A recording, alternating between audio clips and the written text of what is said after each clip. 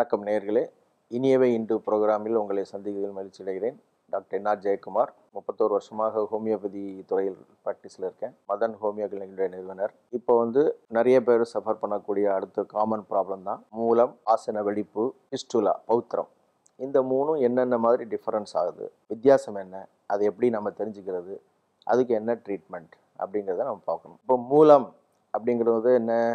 உங்களுக்கு ஆசன வாயில் வரக்கூடிய வெயின்ஸ் அது வந்து வீங்கி பெருசாகி வலியை உண்டு பண்ணுறது மலச்சிக்கல்னால் வரக்கூடிய பிரச்சனையில் ப்ரெஷர் கொடுத்து கொடுத்து அந்த ஏரியாவில் இன்ஃப்ளமேஷன் ஆகி ஹெமராய்ட்ஸ் வெயின்ஸ் வந்து என்லார்ஜ் ஆகி வர்றது தான் பைல்ஸ் முதல்ல ஆரம்பத்திலே கவனிச்சிட்டோன்னா அது வந்து சர்ஜரி இல்லாமல் ஹோமியோபதி மூலமாக முழுமையாக குணப்ப குணப்படுத்த முடியும்.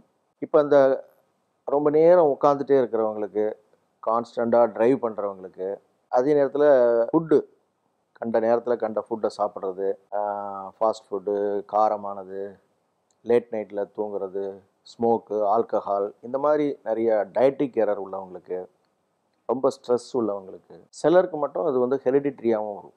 இந்த மாதிரியான உள்ளவங்களுக்குலாம் அந்த பைல்ஸ் மூலம்ங்கிறது வரும். மூலம் வந்து அந்த வெயின்ஸ் வந்து ரத்தத்தில் ஆசன வாயில் வந்து வீக்கம் கொடுத்து மோஷன் சரியாக போக விடாமல் போனாலும் வலியோட போகிற மாதிரி ஆரம்பத்தில் வந்து கொஞ்சம் சில நேரங்களில் பிளட்டும் வரும். இது வந்து இன்டர்னல் பைல்ஸ் வெளியில் எதுவும் தெரியாமல் உள்ளுக்குள்ளே அந்த வீக்கம் வெளியோட இருக்கும்போது blood மட்டும் வெளியில் வரும். அப்போ வந்து இது வந்து ஃபஸ்ட்டு டிகிரி பைல்ஸ்னு சொல்லுவோம். அடுத்தது வந்து மோஷன் முக்கி போகிறப்போ வெளியில் கொஞ்சம் மாஸ் வரும். அப்புறம் மோஷன் போ முடிக்கும்போது தானாகவே உள்ள ரெட்ராக்ட் ஆகிடும். தானாகவே உள்ள அந்த மசில் மாதிரி உள்ள போர்ஷன் வந்து உள்ளே போயிடும். ஸோ இந்த வெயின்ஸ் உள்ள ப்ரொட்ரூஷன் ஆகி உள்ள வெளியில் வந்துட்டு உள்ள தானாக போய்க்கிறதுக்கு வந்து செகண்ட் டிகிரி தேர்ட் டிகிரி என்பது வெளியில் வரும் மோஷன் போகிறப்போ பைல் மாஸ் வெளியில் வரும். அதை ப்ரெஸ் பண்ணி உள்ளே விட்டால் உள்ளே போயிடும். இது வந்து தேர்ட் டிகிரி இந்த ஸ்டேஜ் வரைக்கும் நாங்கள் ஹோமியோபதி மூலமாக ட்ரீட் பண்ணி சக்ஸஸ் கொடுத்துட்டு தான் இருக்கிறோம். ஹோமியோபதியில் வந்து நீங்கள் சிம்டம்ஸை கரெக்டாக சொல்லுங்கள் அதுக்கு தகுந்த மருந்தை கரெக்டாக எடுத்துக்கிட்டோன்னா நல்ல குணப்படுத்தலாம் பைல்ஸுக்கே நல்ல மெடிசன்ஸ்லாம் இருக்குது ப்ளீடிங் பைல்ஸு நான் ப்ளீடிங் பைல்ஸ்னுட்டு அனலைஸ் பண்ணி அதுக்கு உள்ள மெடிசன்ஸ் ப்ளீடிங்னா என்னென்ன மெடிசன்ஸ் கொடுப்போம்? இப்போ ப்ளீடிங் இல்லாமல் மாஸ் மட்டும் வருது அப்படின்னா இது பெயின்ஃபுல்லாக பெயின்லெஸ்ஸாக சிலருக்கு வந்து ஜஸ்ட் ப்ரொலாப்ஸ் இருக்கும் பெயின் இல்லாமல் கூட இருக்கும். சில க்ரானிக் இதில் நாள்பட்ட பைல்ஸில் அதையும் நம்ம ட்ரீட் பண்ணுவோம். சிலருக்கு லோக்கல் அப்ளிகேஷன் கொடுப்போம். ஃபைல்ஸ்க்குள்ள மெடிசன்ஸை லோக்கல் அப்ளிகேஷன் கொடுக்க வேண்டியது இருக்கும். மேக்ஸிமம் வந்து அவங்களுக்கு வந்து symptomatological medicines nux vomica aesculus sulphur acid nit இந்த மாதிரி நிறைய மெடிசன்ஸ் இருக்குது ஹெமாமெலிஸ் இதெல்லாம். ப்ளீடிங் இருக்கிறவங்களுக்குலாம் அந்த ஹெமாமெலிஸ் மதர் டெஞ்சரை கொடுத்தாலே நிறைய பேருக்கு கண்ட்ரோலுக்கு வந்துடும் அப்படி அந்த அறிகுறிகளுக்கு தகுந்தவாறு பிரச்சனைக்கு தகுந்தவாறு வந்து மெடிசின்ஸை கொடுத்து கண்ட்ரோல் பண்ண முடியும். இதில் வந்து உணவு பழக்க வழக்கங்கள் ரொம்ப முக்கியமாக எடுத்துக்கணும்.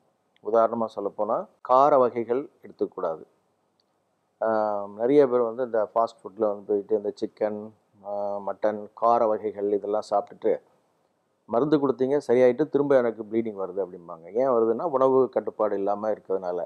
அதனால் உணவு கட்டுப்பாடு ரொம்ப முக்கியம். அதே நேரத்தில் ஃபிஷருக்கும் அதே மாதிரி காரம் சாப்பிட்டா கண்டிப்பாக அந்த ட்ராக்ல வந்து உணவுப் பொருள் சா- காரப்பொருள்லாம் சாப்பிடும்போது மோஷன் போகிறப்போ அந்த பேர்னிங் சென்சேஷன் அதிகமாக இருக்கும்.